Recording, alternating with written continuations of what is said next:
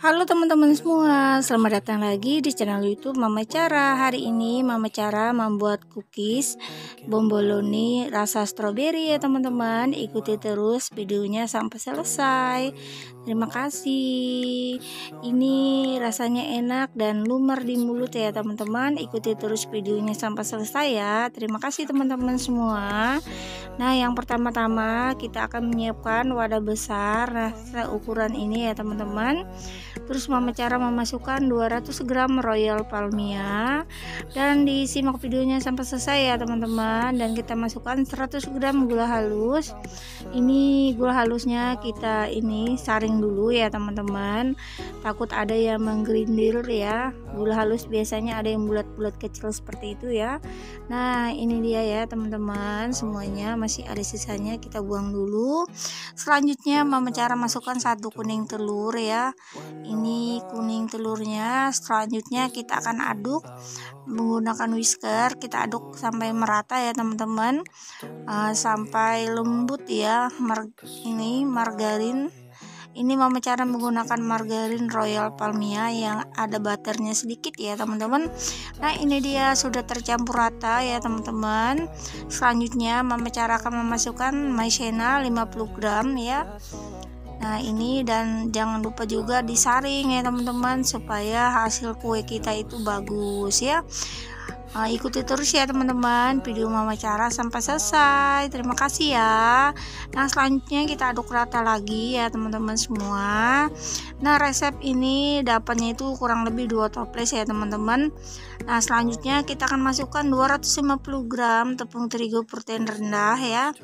Uh, atau kunci biru ya teman-teman kita saring juga ya teman-teman seperti ini. Setelah itu baru kita aduk rata lagi ya. Nah ini kita masukkan lagi ya teman-teman. Pokoknya ini totalnya itu adalah 250 gram ya tepung terigunya. Nanti memecarakan taruh di deskripsi. Nah tadi mungkin nggak ke video ya teman-teman. Mama cara masukkan uh, satu bungkus vanili ya teman-teman yang merah yang bulat itu ya yang sering orang jual di warung Nah selanjutnya ini sudah tercampur rata seperti ini. Ini udah nggak kuat lagi ya teman-teman. Menggunakan whisker. Selanjutnya kita ini pakai sendok ya teman-teman. Nah ini pakai ini ya. Selanjutnya pakai tangan ya teman-teman biar kita tahu ya seberapa ini. Jangan lupa tangannya dicuci bersih dulu. Ini kita ambil yang di pinggir-pinggirnya dan sambil diulen ya teman-teman sampai bisa dibentuk dan tidak lengket di tangan itu udah boleh kita cetak ya teman-teman. Nah seperti ini ya teman-teman semua. Nah seperti ini ya.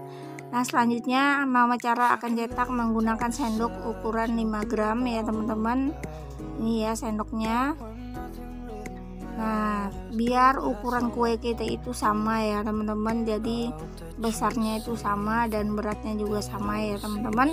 Nah, jika sudah kita taruh dulu di loyang ini sudah mama cara alas ya dengan ini apa namanya alas untuk kue kering gitu ya teman-teman. Lupa ya mama cara namanya. Sambil kita bulat-bulatkan mama cara musapa kalian dulu.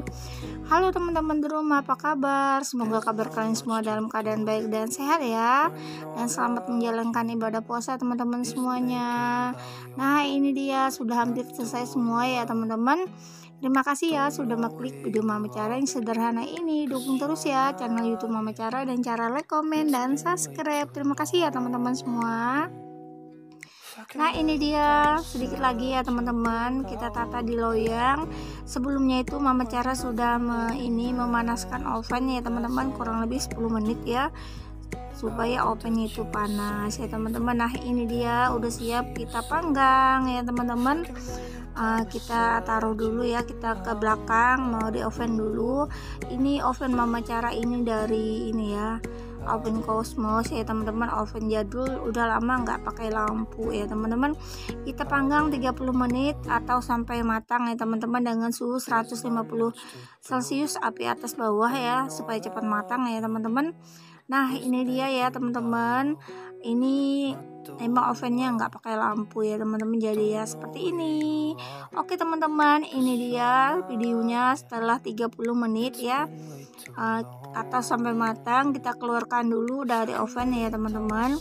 Ini videonya sedikit cara singkat ya kalau menunggu kita matang dia di oven itu terlalu lama ya teman-teman. Kita pindahkan dulu ke atas meja ya teman-teman Nah, kita tes dulu ya. Nah, ini dia ya, teman-teman semua. Kalau sudah matang itu di bagian bawahnya itu berwarna kecoklatan ya. Dan selanjutnya untuk toppingnya ya teman-teman, ini Mama cara menyiapkan 250 gram coklat stroberi dan 100 gram kacang sangrai atau kacang cincang ya untuk toppingnya ya teman-teman. Selanjutnya Mama cara lelehkan dulu ya coklatnya. Ini menggunakan air panas ya teman-teman di kompor ya. ini mama cara aduk-aduk seperti ini dan saat mengangkatnya itu mama cara nggak bikin video ya teman-teman karena panas ya. oke teman-teman ikuti terus ya video kali ini. ini adalah video uh, apa ya cookies ya teman-teman terbaru di tahun 2024 ini tuh cocok untuk kue lebaran di tahun ini ya teman-teman di tahun 2024 kita celupkan ya kuenya ke coklat. Hanya separuh dari ini sisinya ya teman-teman.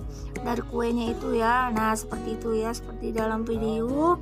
Setelah itu baru kita kasih topping. Kita beri topping ini ya teman-teman kacang sangrai yang sudah disangrai ini kita taruh semuanya ya di atas kuenya. Ada yang jatuh-jatuh juga. Ikuti terus ya videonya sampai selesai teman-teman semua. Nah ini dia ya kita tuh udah taruh kelihatan lebih cantik.